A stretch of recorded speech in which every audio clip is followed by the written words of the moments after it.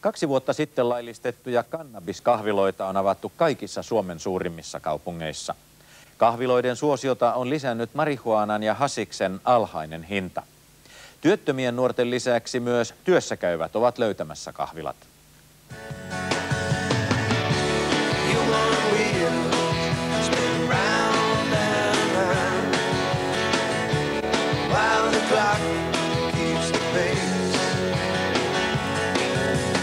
Koko 90-luvun pilvi nousi yhä useammalle nuorelle paremmin päähän kuin viinaa.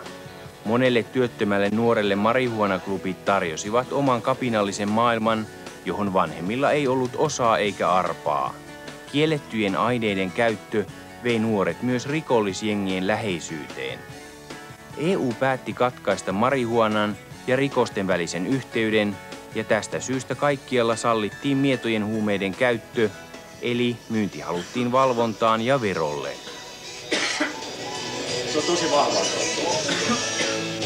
Huomattiin vähitellen vaan, ettei ole oikeastaan mitään järkeä tehdä ihmisistä rikollisia sen takia, että he käyttävät ehkä mieluummin kuin alkoholia käyttävät jotain, joka on monessa suhteessa, ei välttämättä kaikissa, mutta monessa suhteessa jopa miedompaa kuin joku alkoholi. Ainakin miedompaa kuin alkoholi ja tupakka yhdessä käytössä.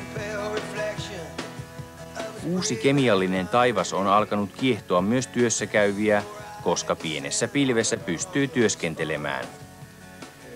Liittosen näitä papereita ja sitten, sitten mä purkin, purkin itse asiaa, että tämmöinen yksi kasvi, jos voisit pakata siihen.